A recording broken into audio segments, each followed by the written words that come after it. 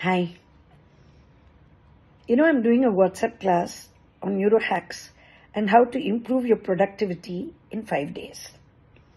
You're going to be learning there why our brains do what, the, what it does, how you can modify it, how you can boost your prefrontal cortex, how you can calm your limbic system, and a lot of neurohacks on how to be more mindful, positive visualization, affirmations, how to identify triggers which are leading to limiting beliefs, how to overcome limiting beliefs, and how to, in every single way, identify why it is you're not functioning at the level you need to be functioning.